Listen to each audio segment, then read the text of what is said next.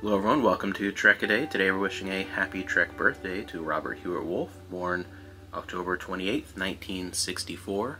One of my favorite creative forces throughout Star Trek. Someone who I think should be more celebrated for his contributions therein, as well as beyond Star Trek, seeing what he tried to do with Andromeda afterwards, and ultimately we know what happened there with him being ousted in the uh, division being hijacked, and we got what we got.